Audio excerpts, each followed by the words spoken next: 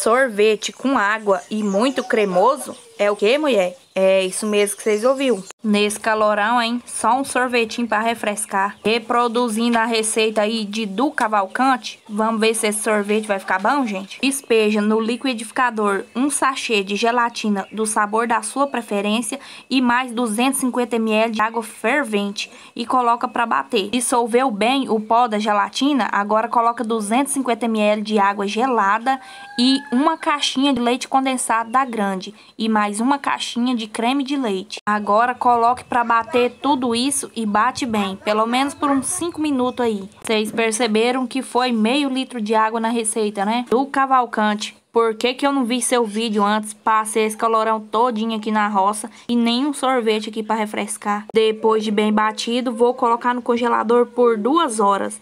Depois de duas horas, esse é o resultado aí, ó. Mas ainda não acabou não, gente. Eu quero dobrar essa receita de tamanho. Esse sorvete vai render de um tanto que se a pessoa quiser, dá pra tirar até uma renda. Você tá doido? Dei um mexidão aí antes pra ajudar a batedeira e bati esse sorvete aí por 15 minutos, até ele dobrar de tamanho. Eu vou falar um negócio pra vocês, ele vai render demais da conta. E a textura dele vai ficar parecendo um chantilly e continuar cremoso. Olha aí pra vocês verem. Ei, gente, se essa receita funcionar comigo, sorveteria nenhuma vai ver meu vulto mais. Pra falar a verdade, eu vou uma vez na vida na sorveteria. E olha aí pra vocês verem o resultado final, ó. Bem cremoso, bem batidinho.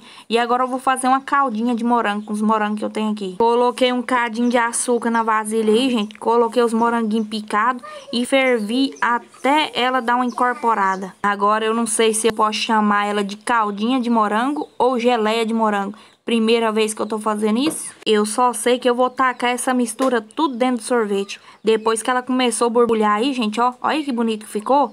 O morango deu uma derretida boa, mas ficou bonito demais e uma delícia. E esperei esfriar primeiro e depois coloquei aí no meio do sorvete. Eu só dou uma dica pra vocês. Eu arrependi de ter colocado a calda no meio do sorvete. Porque essa caldinha deliciosa aí, gente, ia ficar boa, era por cima do sorvete.